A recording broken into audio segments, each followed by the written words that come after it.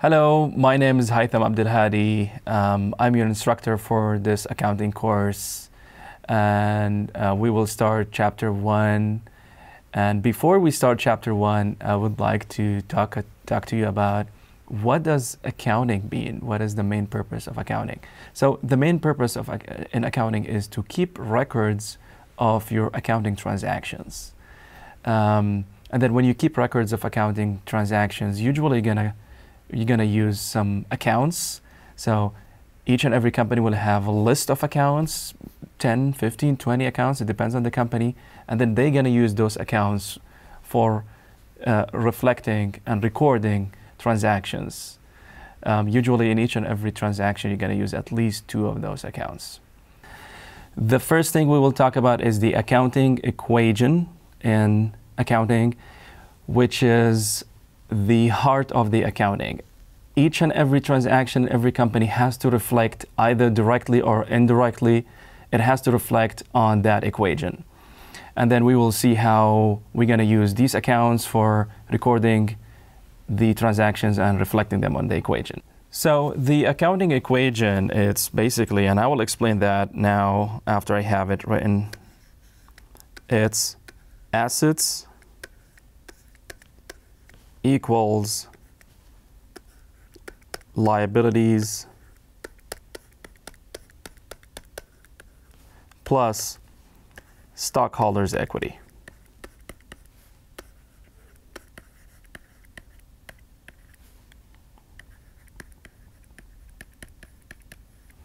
Okay, now let me explain what each one of those means um, before we start recording transactions and uh, reflecting them on this equation. Um, asset, assets means any company belonging that has a value.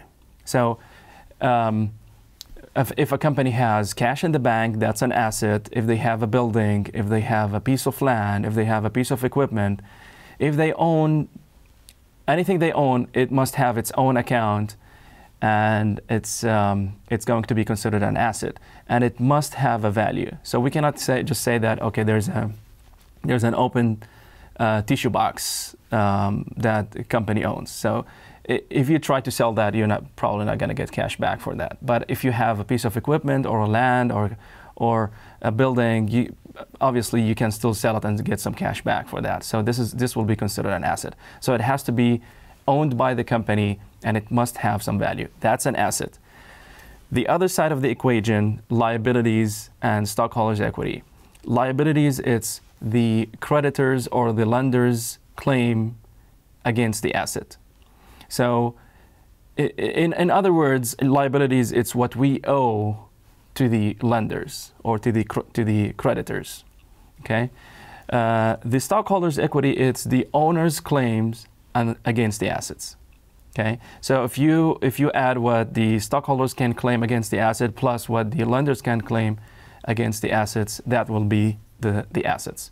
If a company does not have any liability at all, the assets will equal the stockholders' equity. So, for example, if I have my own car and I I paid it in full, I do not owe anything to the bank, that means the total assets will equal the what I can claim against that asset if the car is worth $10,000, when I sell it for 10,000, I will be able to get the entire $10,000 back for me as a stockholder. Um, that's, that's the same concept. But if I owe um, 4,000 out of the 10,000, if I sold it for 10, that's, that's the asset. I have to pay back $4,000 to the, uh, to the bank, and then I get back as a stockholder $6,000. So the 6 plus 4 equals the $10,000, which is the car, which is the asset. Okay. Um, now, going back to companies, let's look what each one of those, what accounts, or actually, we're going to take some examples on some accounts that fall under each one of these classifications, we call them. So assets, obviously cash, it's one, one of the, um, it's the main account that falls under the assets. It can be cash in the bank or cash, uh, portable cash. Uh, the other very common account that almost every company has is equipment The other account is, um, let's say, supplies. And then when I say supplies here, I'm talking about the supplies that we purchased, but we did not use them yet. We still have them sealed. That means they still have some value in them. Remember, once you use them, they're not going to have value in them anymore, so we're not going to consider them as, as assets anymore. They have to be transferred to a different place. So before you start using them, once they still have some value, some holding value in them, we will consider them assets. Uh, if it is a merchandise company, they will probably they will have inventory. So that's how they make business. They buy inventory, it becomes one of their belongings, and then they sell them eventually for making money from. Uh, we can say building, um, land. Maybe not every company has buildings and lands. Uh, we can also we consider prepaid accounts. For example, prepaid rent or prepaid uh, insurance. I would just say, for example, prepaid rent. And that is considered an asset because when you prepay money to the, to, to the uh, let's say, the, um, to the landlord for the property that you're renting, if you did not consume that amount yet. It means you did not actually start renting the property, or maybe you paid it at the beginning of the period, so the period is not over yet. You did not start um, using that place with that amount that you paid initially. So it's like depositing cash in the bank. It's it's not in the bank, but it's with the landlord. But then you will start consuming that amount over time. So at least from the accounting perspective, it's still considered part of our assets because it's cash that still belongs to us and we did not consume it yet. Now later on, once you consume it, then it's not going to continue being an asset anymore. We have to take it away from asset. Um, the other account is accounts receivable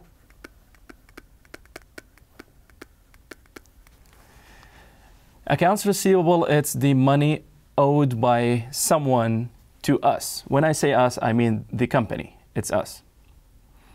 Uh, if we provide a service, for example, if we provide a service to a customer, and then we we finish providing the service, we're done with the service, that means it's officially becoming um, a revenue, and that's an, another account that we'll talk about soon. So because that, um, that service was provided and it's done, the amount owed by the customer to us becomes officially one of our assets. The way how I explain it to people, at least my way, just to make it more clear, it's like cash in someone's pocket that belongs to us already. Okay, so this is considered accounts receivable. So accounts receivable, it's the cash that will be received. It will be. You can squeeze, at least in your head, you can squeeze the words will be. It's cash that is not yet, not, it, not yet with us. It will be coming in, in future from the customers. So we are already considering that amount part of our assets. So once you add all these accounts, so each one of them we call it an account. Once you add all of them, then the once you add them up, you get the total assets. Okay, so those are examples on assets. Let's talk about the liabilities. Again, liabilities, it's any amount that we owe to someone. The most important account under the liabilities, it's called accounts payable. And it's called accounts payable because it means that there's a specific amount that we will pay to someone in future. Okay, we will pay it, so that's why we call it payable. Uh, there's another example for notes payable, which is very similar to accounts payable, but it's more official, it's documented usually. Uh, sometimes we charge the, uh, so we get charged interest on top of that amount that we owe. But in accounts payable, it's not that official. We don't pay interest normally. We don't sign documentation, too much documentation for that, like the notes. Uh, there's also loan payable. It can be salaries payable.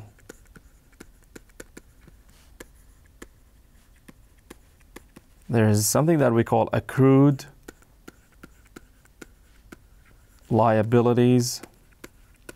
And what that means is if we have any, um, for example, utilities, any utility bill that becomes due, it has been accrued. Accrued means it's due for payment. It's officially money we owe for uh, the service provider of that bill. That means it's going to be one of the liabilities because we owe that amount now. Um, we can also say utilities payable, for example, utilities payable. And there's one more account that is called unearned revenue.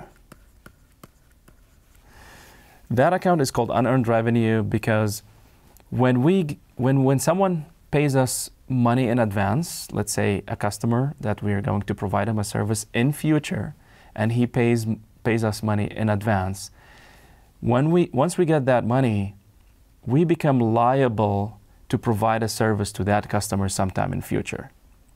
So that amount becomes a liability until we provide a service to that customer. So in the meantime, between the day we receive the cash until we uh, provide the service to the customer, that amount will be considered a liability under unearned revenue. Stockholders' equity, we've got common stock. So when a company issues stock, that means they will raise cash, they will raise fund from stocks, they will give stocks to, to the stockholders and they will get cash from them. So the stockholders will become uh, one of the owners. Uh, they will become part of the ownership in the company. And the, the amount of cash we get from those stockholders goes to common stock. Uh, there's also retained earnings account, which I will explain in my following videos because it has too many uh, too many things involved in it. Um, there's also we will talk about revenue and expenses. Revenue it's the cash coming in from um, it's it's it's the value of the service or the inventory we sell to customers or the value of the service we provide to customers. That amount becomes revenue because that's what we will expect from them to be paid to us. And it, do, it does reflect on the stockholders' equity, but indirectly, okay, indirectly, it's not one of their accounts, it's not one of the stockholders' equity accounts, but it reflects on stockholders' equity. So I'm just going to put it down here. Revenue, it reflects positively. So more revenue will reflect on more stockholders' equity. And then also expenses and dividends.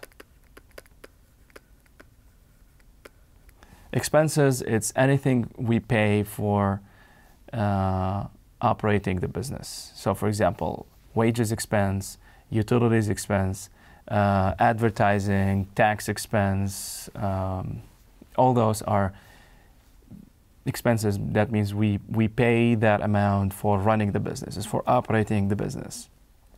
It's not like paying cash for buying equipment because there's a holding value there. But when you pay cash for utilities or, or wages or rent or insurance, this is money gone and the value is gone. So it's not going to be considered an asset. We consider that an expense. Okay, dividends, it's the portion of the net income. Net income is the profit that the company makes. The portion of that profit or the pro- portion of the net income that gets paid to the stockholders, that part is considered a dividend. that amount is dividends. Okay, uh, revenues will reflect positively on the stockholders' equity, and ex- expenses and dividends will reflect negatively on stockholder equity. Okay, uh, so and then I forgot to mention here that once you add up all those liabilities, you get total liabilities. And then here, whenever you add stock, common stock and add the retained earnings, retained earnings, it's actually going to combine revenues and expenses and dividends all in one account. And that's what we will explain in the following video. So once you have all those added up, you will get total stockholders' equity. That was the first video for uh, for chapter one. Uh, that's that that's just the part one. We will talk about part two in the next video.